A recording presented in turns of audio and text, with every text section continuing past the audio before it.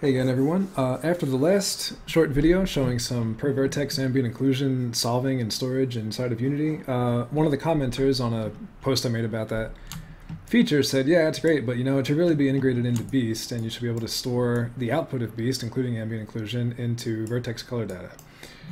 Uh, I completely agree. Beast is absolutely spectacular application, and I, for a long time, have wished it could could store things directly to Vertex Color. Uh, Modo's internal renderer can store a GI simulation in Vertex Colors in one click, but it can't do ambient occlusion that way. They do have that, you know, render to a pass and then store that uh, as Vertex Colors process, but that does require UVs and a bunch of other stuff. It's sort of unpleasant. So here I have a scene in Unity as you know, programmer art warning. Um, and uh, I've already rendered. I was actually going to show the rendering process, just do this whole thing from scratch, but it takes too long with Beast, honestly. So here you can see we have some orange bleeding and blue bleeding in here, and you can see this has been processed. So these nice big wide soft shadows back here and everything. So this is a Beast approved, finished rendered thing. We see that the uh, light the light has no effect, you know, because we're using um, effectively far light maps. This is a one light map only, far style, forward rendering compatible wonderful setup. Okay. And I just want to show uh, one approach to actually storing this. I'm not entirely sure if this is what people were asking for, but uh, here's something you can do. So using that deep copy script, we're going to deep copy, say, the floor object here by itself. We're going over here, and you can see this is what the light map information for this object looks like just by itself. Is what was actually stored. What we'd like to do is to bake that down to vertex colors, assuming that if you wanted ambient occlusion, like this is going to look a little weird because it includes shadows uh, and ambient occlusion and color bouncing, but obviously you can do whatever passes you want in Beast independently. I just did this all in one shot, so it'd be easy to, to illustrate. We want to bake this down into vertex colors. In order to do that, uh, one thing we need to do is to make sure that our light maps, which are over here in this you know, automatically generated directory that Unity creates, these actually need to make, we need to make sure that these can be read. So the, in order to do that, we have to go to texture type, change it to advanced, and click on read write enabled. And you know, we're gonna do that for all of them. And I'm, I'm showing this because I forgot to do this so many times that it really became essentially obvious that this needed to be like clearly stated up front, like, wow, do you need to do this? Okay. So here we have that, and here we have this object. Now what I'm gonna do is I'm actually gonna put a, uh, debug uh, shader on here that's just going to show vertex colors, and I'm going to bake these GI colors into vertex using this script here, which is included in the file that'll be in the comments and also in the post. Light map to vertex color. And there you go. That's the horrible, terrible light map only, or the vertex color representation of what was actually stored in the map. I have a uh, pre-prepared shader that includes uh, the right material and the right tiling settings and all that for this, just as a vertex color shader. Now, what this shader actually is this GI ground thing over here. Um, I don't know if it's really worth trying to show too much of this, but here you can see the shader here. This is a really simple, excuse me, vertex and fragment shader.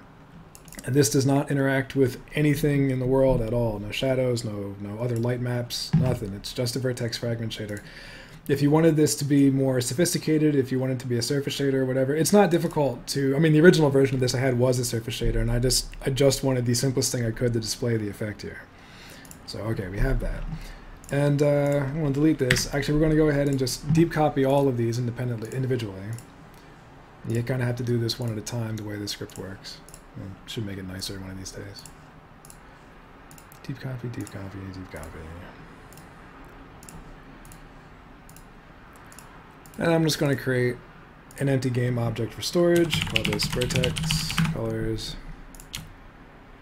And I don't know what happened there. It looks like I clicked on one of these things twice, probably. Terrible things. Yeah, that doesn't look right. Um, hold on, I think we just have too many. Uh, let's pretend that that goes up there. Sure it does. Right. I'm not really sure what that was, but I'm just going to ignore it. Um, light map to vertex color on each of the... Actually, you know, one thing about this script that's kind of convenient, unlike the deep copy, you can just do a whole bunch at once, light map to vertex color. And now if we put this debug vertex color on them individually, this is what the vertex data for that whole scene actually looks like. This is what that GI was sort of stored as. And these, again, are the prepared shaders that include uh, support for per vertex light map transfer data. So here's your scene as rendered. Well, that doesn't look right. That looks like that's maybe. Can that possibly be the shader? Oh, yeah, so it is. It doesn't look that bad. Sorry, I'm just kind of surprised it came out so well. Um, but of course, it's really not all that good. I mean, you can see there's lots of problems and stuff in here. Um, really, just the resolution isn't very high. Uh, but that would probably be true of the Vertex, the the ambient occlusion solver I had in the other example. You just you'd need you know larger settings and a featherier result. Actually, that didn't really come out that badly at all. Honestly, back here, I'm surprised. This is using fairly dense geometry. Obviously, tessellated this a little bit to illustrate this, but. Uh, there you go. This is a shader that has, you know, a variable degree of intensity. Apparently the intensity, um, I read a post by Aras talking about how do you how do you get vertex lighting data back out of the of the uh, the EXRs it generates and turn it into something useful for illuminance because it's not a simple blend or an overlay. And the answer um, that he gave in this forum post going back a couple years is that uh, it, it's basically you have to multiply the light map channel light map data is stored in images in such a way that the RGB value has to be multiplied by the alpha value, has to be multiplied by some constant. The default value for which is 8, uh, but it changes by platform. Now I have on the shader that's associated with these a little slider that lets you change that constant, and obviously it's useless in this case, it just sort of does a bunch of noisy things.